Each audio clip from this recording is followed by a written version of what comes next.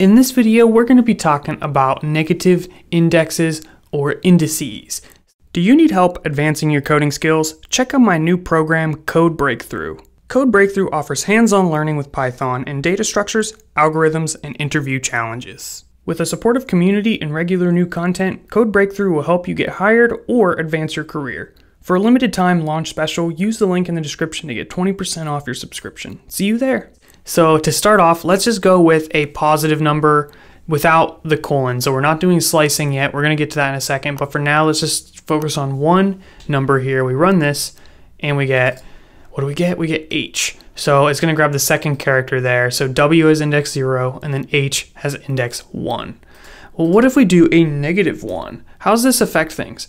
So running this, we actually get a question mark. So it doesn't even know the answer. No, I'm just playing. It's actually grabbing this character right here. So the first character on the right has the index negative 1. So you may have thought, oh, it would be negative 0 because the one on the left is 0. Except the whole concept of 0 and negative 0 doesn't really make sense. There's only one 0. And in fact, I'm to show you just to prove my logic here. And we're going to get into logic later on here. But I'm going to print and we're just going to do a little comparison here. So I'm going to say 0 is equal to negative 0. Running this and we get true. But if we did something like 1 and negative 1, mm, false, not a thing. So that is why the character on the right starts with negative 1.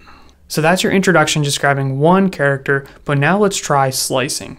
So we'll start with a positive number and then convert it to a negative number to see how things change. So let's go with, I don't know, let's pick a number. Let's go with 5. And then a colon.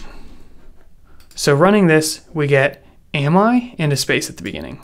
So our original poem, Where Am I, is now much more deeper because it's not even asking where, it's just asking am I? So we are reaching depths that I was never even expecting. But now what I want to see is what happens when we switch this to a negative 5.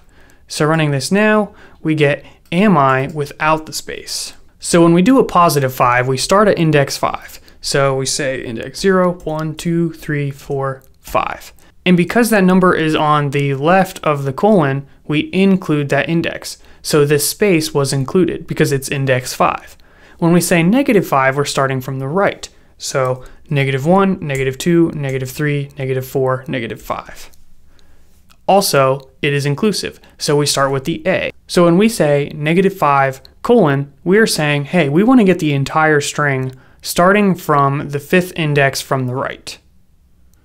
So starting at the end, go back five characters and give me all of those things. Now let's try a number after the colon. So if we put a 5 here, all right, let's go with something else. Let's go with a 7.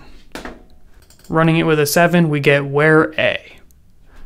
So when we put a number after the colon, we're saying where do we want to go up to? So starting at the beginning, we go index 0, 1, 2, 3, 4, 5, 6, 7. And the 7 is not included. So when we put a number on the right of the colon, it is exclusive. So we stop here.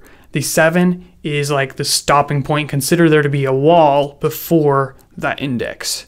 So we grab everything up to index 7 but not included. So that is why we get where A. Now let's try a negative number. Running this here, we run it and we get were. and basically now we're going to go up until the character that is negative 7, so 7 from the right. So starting from the right at negative 1, negative 2, negative 3, negative 4, negative 5, negative 6, negative 7. So this E is the character at negative 7 index, and it is exclusive, so we're not going to include that character, which is why we get were. So I'm not going to lie, this can be confusing, especially when we're getting in negative numbers. I literally have to go through this and think like which which ones are going to be included. And oftentimes, you know, I'll be like, hey, I'm going to try to grab this word and I'll get one character off and then I have to like adjust by one number. And that's not the end of the world. You get more used to it over time and, and make less mistakes. But don't feel like it's the end of the world if you don't get it perfect because you can go back and test it and try to get the right substring. Drinking coffee ASMR.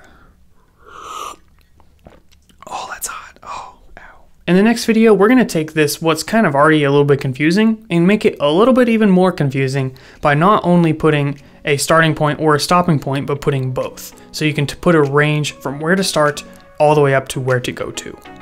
So stay tuned for the next video, that'll be really fun, I don't know. Yes, it'll definitely be fun because everything we do on this channel is fun. So stay tuned and be sure to subscribe.